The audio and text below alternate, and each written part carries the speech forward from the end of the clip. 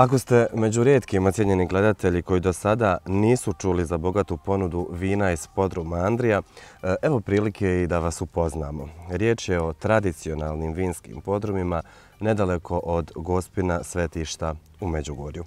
Uz puno truda, vrijednih ruku i bogatih plodova grožđa proizvodi se obilje kvalitetnog vina, među kojima su najpoznatiji žilavka i blatina. Porodica Ćorić iz Pavče, proizvodnjom grožđa i vina, uspješno se bavi više od 360 godina. Njihovi kapaciteti dosežu milionski nivo, a vina se izvoze u veliki broj stranih zemalja. U Slobodnim ljudima, cijenjeni gledatelji, razgovaramo sa Miroslavom Ćorićem, direktorom i vlasnikom podruma Andrija. Gospodine Ćoriću, dobro nam došli i hvala na gostoprimstvu. Hvala i ja bi nazdravio dobro vina mi došli sa jednom čašicom, jer bez vina nema života. Živjeli. Hvala lijepo. Evo, e, ja bi se sad u potpunosti e, i složio e, sa jednim od vaših slogana uvijek žedan, nikad pijen. Uz Andrija vina. Da, to su riječi moga tate pokojnog koji je nas odgojio u podrumima u selu Pauče gdje smo sada i onda smo mi to stavljali na naše darovne pakete. To znači da se u vinu uživa, da se što e, vino je hrana, da se što bolje sa vinom može e, raditi, živjeti, jer vino je i za tugu i za smijeh.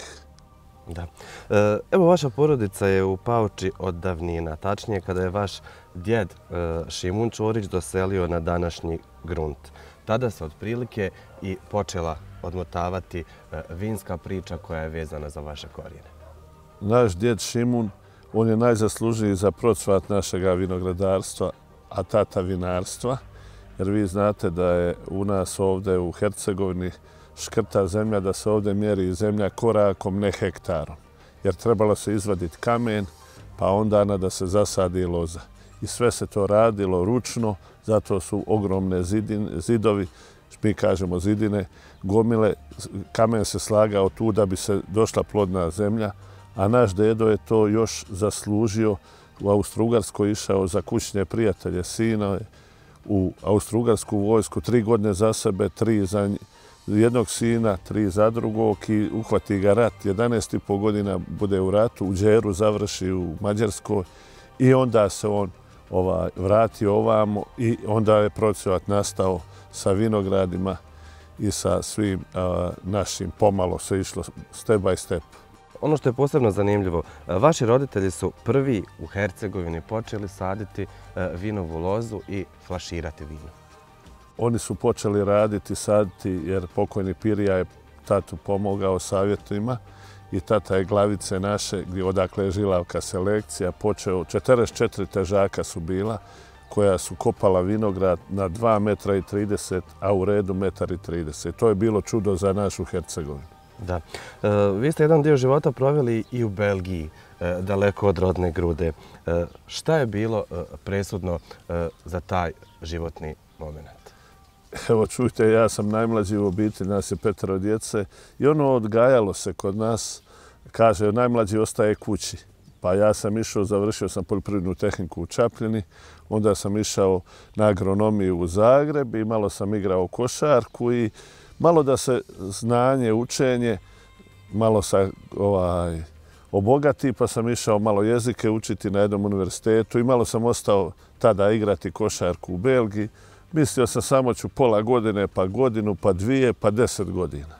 I opet ste se vratili I vra, hvala Hercegovini. Bogu, hvala Bogu, hvala Bogu, vratili se tu i uvijek je bilo to u mislima i dvoje djece e, gore su se rodili i došli smo tu, 97. se vratili, 87. sam ja odšao. Gospođa je bila sa mnom četiri godine, tako da smo ova, se vratili ovdje i nimalo se nekaje. Nimalo, iako je teški trenutak kao u pisnicu ima u svemu, ali nikad nisam poželio Belgiju. Jedino prijatelj je otići ovako zaružit malo što kažemo. Da. Evo, Podrum Andrija je e, dobio ime po tada e, najstarijem članu porodice e, Andriji Ćoriću. Da, jer Andrija, evo vi vidjet ćete naše stare tkete, domaća žilavka Andrija, domaća žilavka Blatina, pa smo imali neku drugu etiketu, onda smo stavili tatinu sliku. Tako da svaki djelatnik, svak, kad vidi Andriju na boci, onda mora vas da ga gleda i mora pazi šta radi svaki naši kooperant, vinogradar. I to je se ostalo i hvala Bogu ostaće. I ujedno je ime mog sina, moj sin je dobio ime Andrija u dedino ime i tako da smo nastavili tradiciju.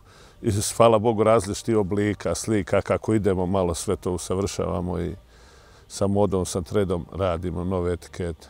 Ali tatin je lik, ostaje tu ime sa, hvala Bogu, sortama, vina sorta, grožja i vina. Koliko vinograda danas imate, evo, kako su e, podijeljeni poslovi? Možda malo da nam e, opišete e, taj proces proizvodnje vina. Jedan dio ćemo i vidjeti nešto kasnije kada se preselimo u podrume. Čujte, mi smo vas da imali brat, ja smo vodili podrum, tata je u ovaj podrum što govorimo mi već stari, ali mi ga zovemo novi stari. Tata je vodio gore stari podrum i vodio je vinograde. Jer mi imamo 20.000 loza naših, ali imamo još 80 hektara sa našim kooperantima. Imamo preko 200 obitelji koji uzgajaju grože za nas, a mi otkupljujemo i plaćamo po kvaliteti grožđa i radimo godinama. Evo sad će biti Andrinje gdje ćemo dodijeliti nagrade koje imaju ljudi koji su 30 godina vjerni, što mi znamo u papirima i tako. Znači, raspodjela posla je bila vinogradi, podrum proizvodnja, prodaja. Prodaja. Mi smo radili zajedno tu, imamo firmu u Zagrebu, e, koja isto distribuciju radi po cijelo podrum Andrija Zagreb, po Hrvatskoj. A, naš podrum ovdje u ovom podrumu smo imali sreću da smo upoznali gospođu Bućan, Vesnu Bućan, prvog kenologa, koji inače Njemica, rodila se tu bila u misni vini, Dalmacija vini, mi smo je pomalo prikupili i ja sam je očela u penziju prije par a, a, godina i ona smo ušla u obiteljsku kušaonu gdje su naše obiteljske slike i ja sam je nazvao ovako reći majka podruma. Ona je prva tu s nami, a sad je tu glavni enolog Josip Martinović koji je naše već deset godina tu. Da. E, koliko vremenski uslovi zapravo e, dozvoljavaju sazrijevanje različitih vrsta grožđa na hercegovačkom tlu? E, čujte, mi smo ostali oni autohtoni. Mi imamo sve naše autohtone sorte, žilavku i blatinu koje nigdje ne mogu jedino ovdje u našoj kršovitoj Hercegovini pokušalo se i u Dubrovniku. Dubrovčani su je pokušali dole saditi, pa Jugoslavija i Makedonija, ali nije to. To žilavka je Bogom data ovde u Brotnju, što mi zovemo srce vinogradarstva u Hercegovini, i Blatina. Znate da je najviši broj sunčanih sati je baš tu u nas u Broćanskom vinogorju u Hercegovini i to e, prevladava za žilavku i blatinu. Ove e, internacionalne sorte mi smo malo posadili ova, jedan hektar širaza ova, 2004. malo da se igramo samo ako radi zezanja kad dođu u strani ljudi, hoćemo samo obogatiti našu paletu, ali naše glavno i odgovorno su sorte autoktone i vrhunske žilavka i blatina. Da. E, u dalekom Japanu, u tamošnjoj ponudi, e, svoje vremeno su se mogla naći samo dva vina iz Bosne i Hercegovine, a riječ je upravo o vašoj uh, žilavki i blatini. Jeste i na to smo ponosni i nažalost tada mi nismo imali količine za, za Japan, jer tad je došao u, u 97. katalog, vinski katalog Japana, oni su stavili i preveli sve našu žilavku i blatinu i to nam jedan veći malo postrajek bio da smo mi izabrani od puno vina. Vi znate da je Hepok tu bio, ex-Jugoslavija, sve, da je to još bilo svježe, ali su oni opredijeli za našu žilavku i blatinu. I to nam sad daje naše vinske ture, Japanci dolaze i a, što je važno, prepoznaju žilavku kad dođu ovdje. Prepoznaju kvalitet. Kval, he, sada to volim da mi stojimo, napredujemo sa kvalitetom i jedino imamo kvalitetna i vrhunska i predikatna vina koji radimo. Mi nemamo stolnih vina. A osim uh, žilavke i blatine, uh, ovdje imamo i još jedno vino. A, roze. Roze. E, taj roze još se kod nas tako ne pije puno. To je neki 5% naše proizvodnje. Ali već kultura pijenja vina raste u Bosni i Hercegovini. kod nas u Hercegovini se vino uvijek pilo i pije se jako dosta, ali već drugi ljudi se još boje miješati vino. Sada uz jedno jelo poče bijelo, pa roze, pa blatinu i tako, ali sad već se to mijenja. A koliko je, gospodine Čoriću, e, zapravo e, preporučljivo e, miješati vina? Je li preporučljivo uopće? E, vidite, kažu ono, običaj je nešto drugo, navika nešto drugo. Ali ja bi preporučio svima, jer kako paše, kaže koje je vino najbolje, ono koje vam odgovara. Na primjer, meni ja ne mogu piti bijelo vino kad jedem tešku hranu, uz divljaž da pijem, uz dobar biftek, pa nema smisla to. Pije se blatina, jer ova crveno vino ili ne znam, ja volim aperitiv uzeti roze, hladan, fino, malo da se osvježim, pa onda prelazim sa janjetinom žilavku. Ali govorim, to ja ne želim nikad preporučivati, jer ljudi, ja pijem crno vino i uz ribu. E, jeste me razumjeli? Fiš. Neka svako pije ono što mu najbolje odgovara. I nemojte se bojati vina, nemojte bojati. Osim već uh, pomenutih vina i vaše tradicionalne travarice, šta se još proizvodi u podrumima Andrija? U podrumima Andrija mi imamo 32 etikete različite, znači od vina, likera, rakija koje mi radimo, to nam je naša jedna paleta, ali što je najprodavanija su žilavka i blatina. Mi imamo arhivsko vino, 2004. dva zlata. Imamo ovaj, žilavku selekciju koja je baš u glavicama tu, koja je odnjegovana, koja je sama žilavka, pa blatinu. Sad smo malo kušali, imamo jedan vranac koji nam je 15,8 u baču alkohola. Znate, to je nešto što još dozrijeva, što radi, pa spomenuo sam širas, pa kvalitetna žilavka i blatne, jer ne može svake godine biti vrhunsko vino, jer vino se dobiva u vinogradu. Prošle godine, 14. je bila jako loša, mi nismo imali 20% mogli uviniti vina, ali rakije su zato dobre. Ove godine berba bila izvrsna, zato smo i napunili podrume. I više nego što smo mislili, jer je grožje ovaj, bilo dobro, i eto više košta novaca, razumite, jer kvaliteta je dobra, plaća se po kvaliteti, jer u nas je svaki vinograd kad se zasadi, njemu je najmanji rok 25-35 godina. A mi imamo vinograde iz 65. što su sađene. Iz njih smo uzimali grožje za selekciju i vrhunska vina.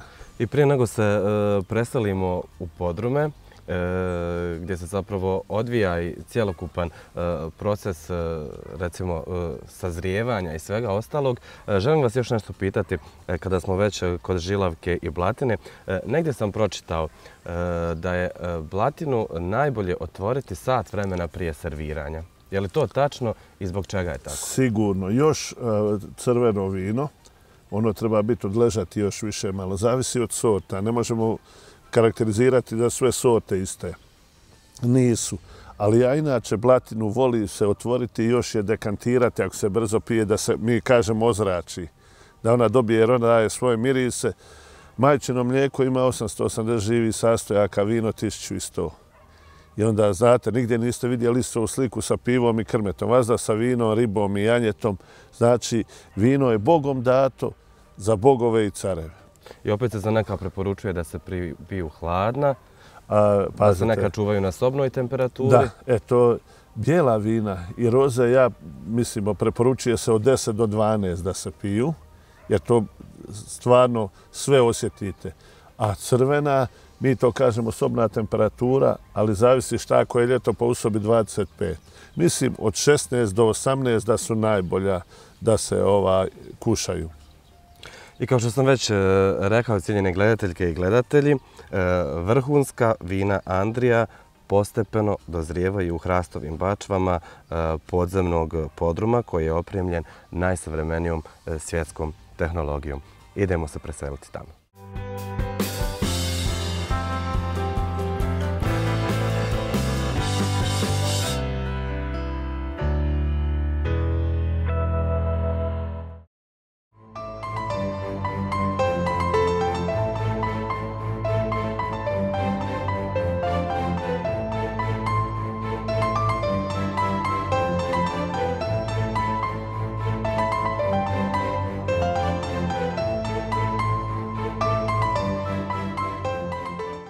Evo, gospodine Ćoriću, e, nalazimo se u podzemnom e, podrumu. Ovdje, kako smo već rekli, u hrastovim bačvama dozrijevaju vina. E, kolika je temperatura zapravo ovdje? Koja je idealna temperatura u ovom podrumu? Pa za odležavanje vina je najbolja od 10 do 14. Tu je između 10 i 14. To je uvijek ovdje. I zimi i, I zimi i ljeti. Da, jer su ogromne izolacije. Mi nemamo ovdje klime, ništa, ovo je sve prirodno. Jer naš podrum nastoji od prvog dana da sve radimo što prirodnije, jer mi imamo odvojen prijem grožđa, sortirnicu grožđa, prostor za fermentaciju, preradu grožđa, kontrolirana fermentacija, punionica, znači pričam sve odvojeno, e, kušaona odvojeno, arhiva odvojena, odležavanje vina odvojeno. Znači sve imamo odvojeno po fazama, na primjer ovaj vinski podrum, dolazi vino iz inog stankova prirodnim putem.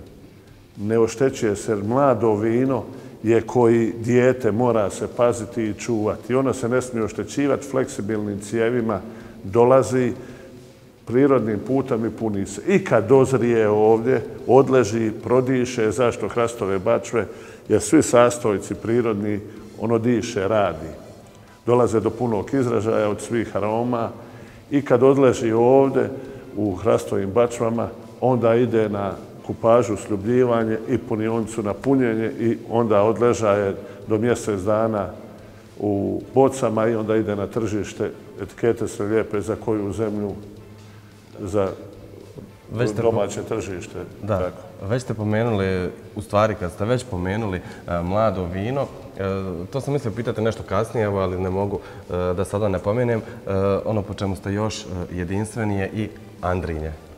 Andrinje, to je naša fešta koja se događa zadnji vikend, u jedan, zadnji petak u 11. mjesecu, jer Sveti Andrija je 30.11. Pošto mi imamo u 14 zemalja izvozimo, dolaze naši svi prijatelji na Andrinje, počinje se znači zadnji petak u, u 16 sati, pa nadalje druženje, ovdje zajedničko VIP gostiju gdje se spontano nema nekih političkih govora, nema ništa. Kratko veselje, hodanje, upoznavanje.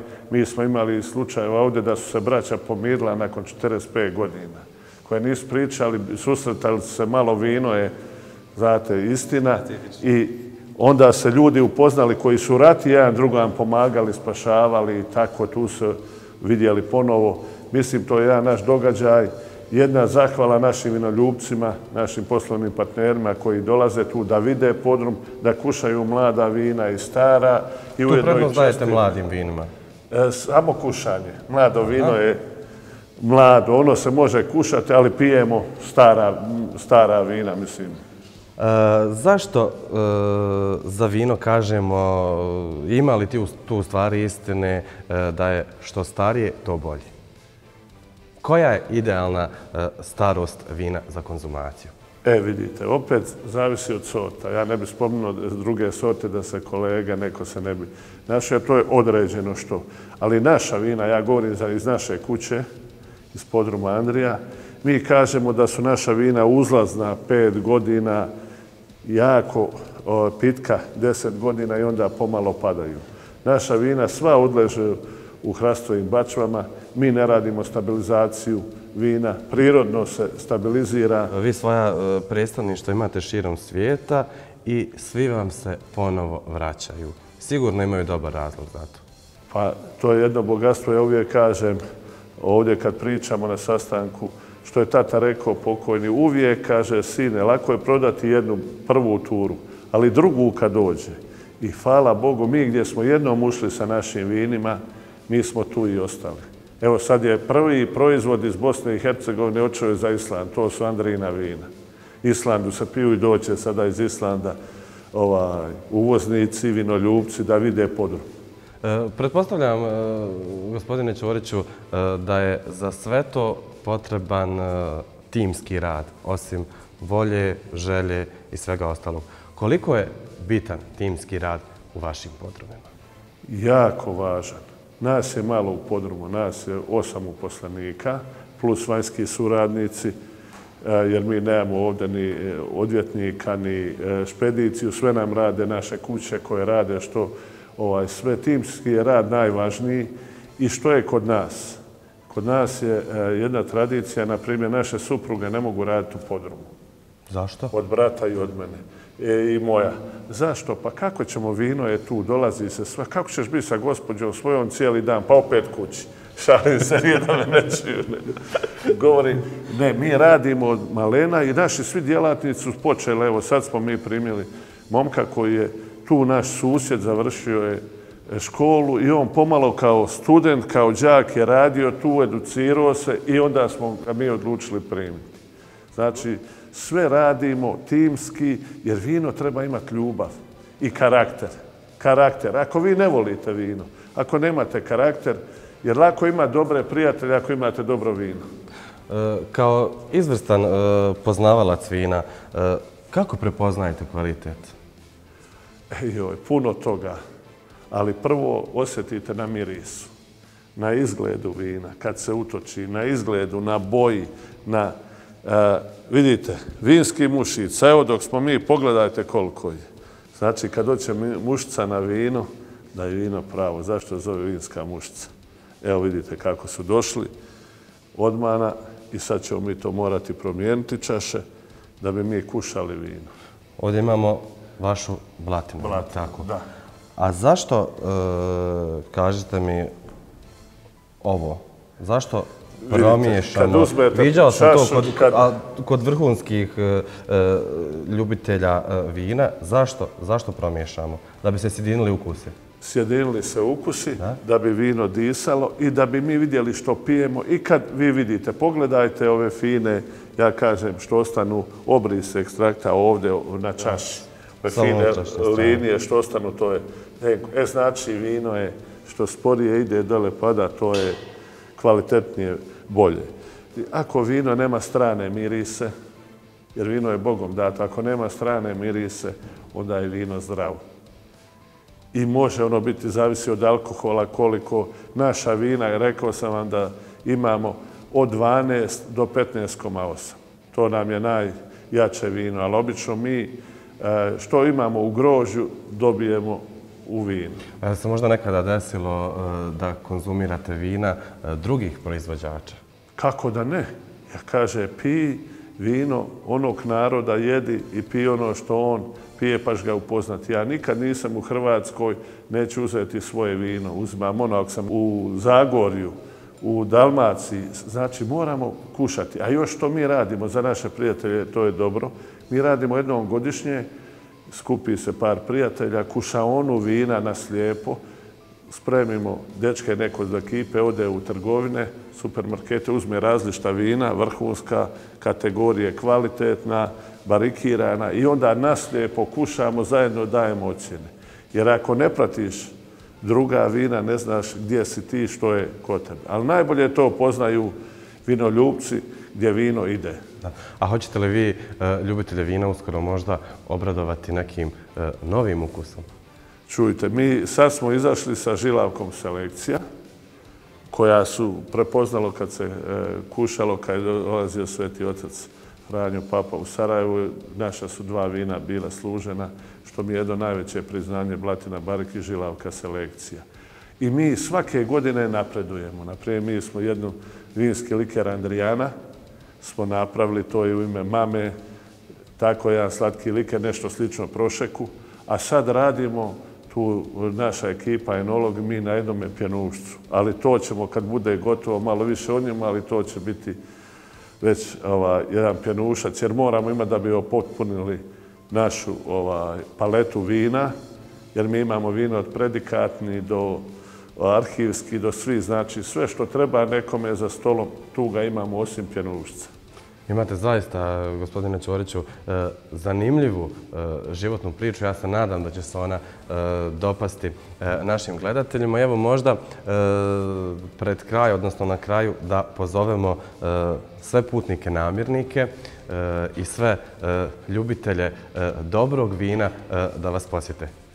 Dobrodošli, hvala, isto se pridružujem, jer mi radimo vinske ture, jer kad ljudi dođu ovde, vide, onda je to jedno veliko eh, iskustvo, spoznaja kad kušaju vino tu, kad vide, onda je nami to jedan, inače, put u svijet. Jer kad odnesu vino, na primjer, naše rakije, smo gore Mađarska dio, eh, gore bio je vinska tura, je dolazila i to su rakijaši.